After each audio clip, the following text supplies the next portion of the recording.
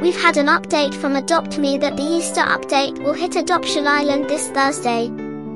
In week one of the update, we will have a new pet box with three new pets, and an amazing new minigame which I have already had the privilege of playing already and you get to see it in this video. Let's head over to Jesse and see the update. Easter is back in Adopt Me.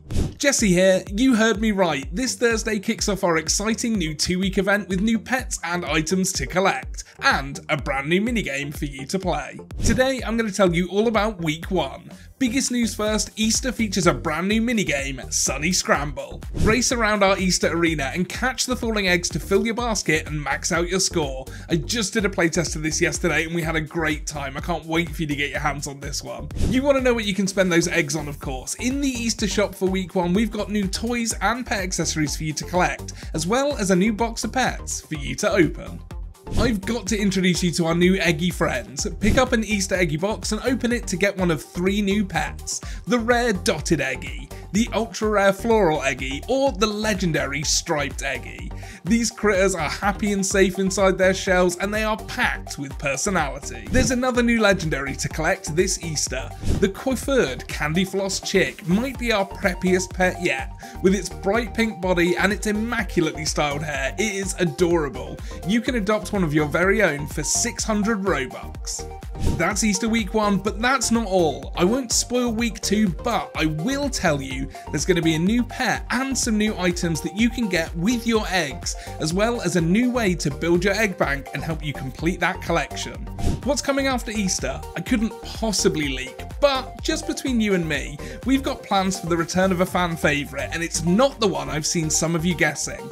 Follow us for more info on that soon, and head on over to playadopt.me slash countdown to see how long you have left to wait until the start of Easter in Adopt Me. The update absolutely looks incredible and I have seen some parts of it. The teleporter is amazing. I love the idea of it, but I'm not going to share what it looks like, but it does look incredible. You'll be able to see it on Thursday. The minigame is absolutely amazing, it's very fun and fast paced and the team have worked incredibly hard and it definitely shows. Let's see the minigame.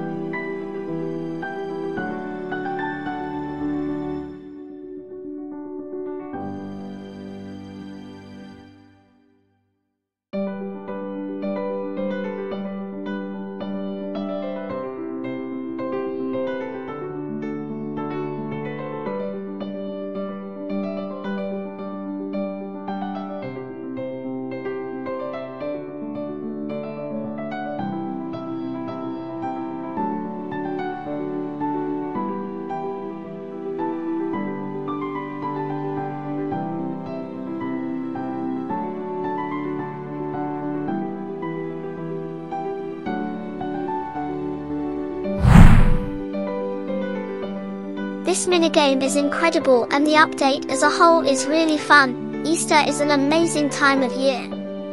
That's all from me. Be sure to check out the Adopt Me countdown to see when the update is live for you at www.playadopt.me forward slash countdown. Thanks for watching and I wish you all a very happy Easter.